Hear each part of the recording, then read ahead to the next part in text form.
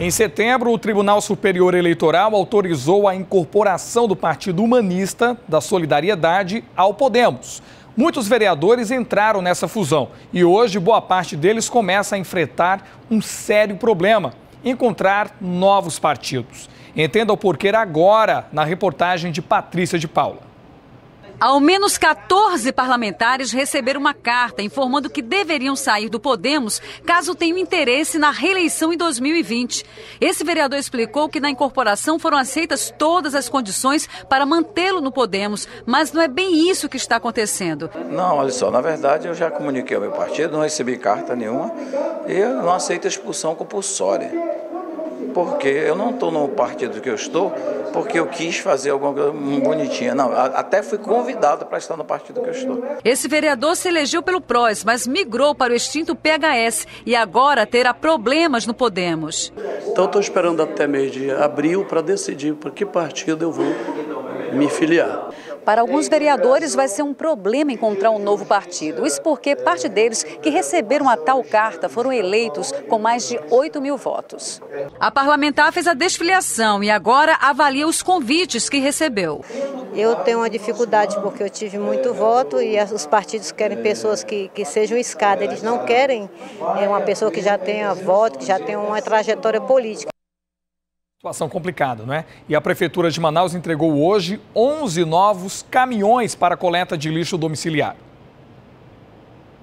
Os novos carros vão facilitar o trabalho de quem faz a coleta diariamente na cidade, como por exemplo do seu Deus Tevan, que há mais de sete anos trabalha como motorista e para ele a nova frota vai trazer conforto durante o trabalho. Não trabalhar com câmbio é, manual já é, é uma grande facilidade para nós. E de ser um carro novo, climatizado, isso facilita muito, porque nosso clima aqui é muito quente.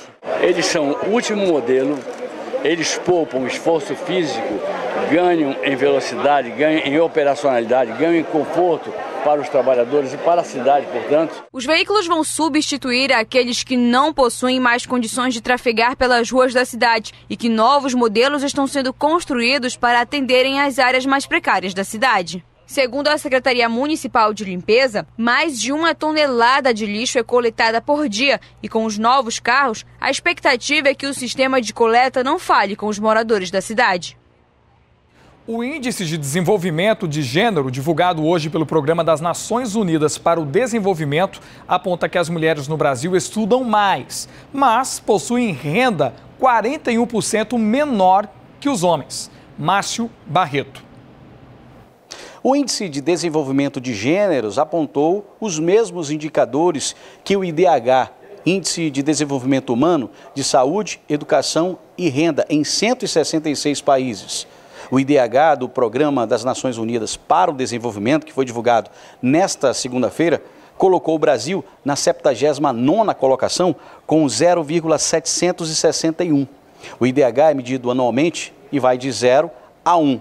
Quanto maior, mais desenvolvido é o país.